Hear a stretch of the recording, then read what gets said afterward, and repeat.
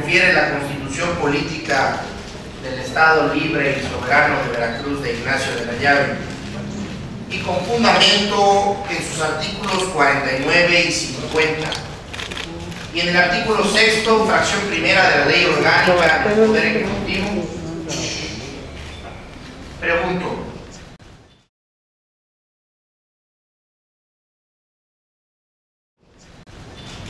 protesta guardar y hacer guardar la constitución política de los Estados Unidos mexicanos, la constitución política de nuestro Estado.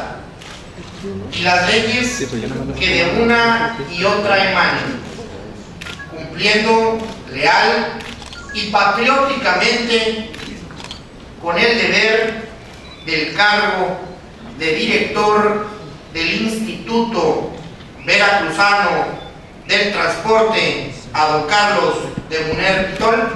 Sí, usted.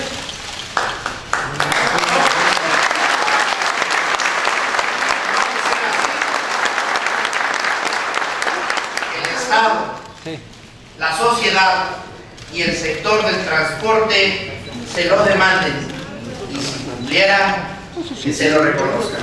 Enhorabuena.